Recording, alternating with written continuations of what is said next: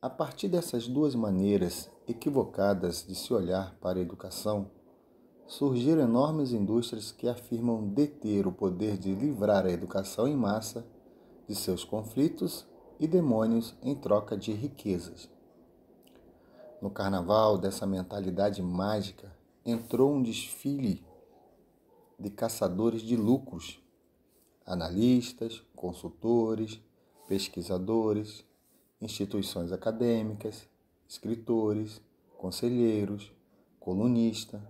conselhos de material didático, diretorias de distritos escolares,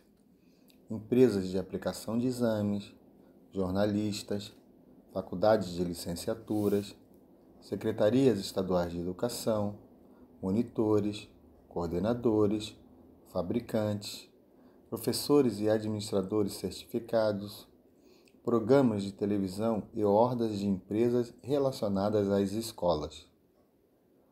Todos parasitas do monopólio estatal sobre o conceito de escola.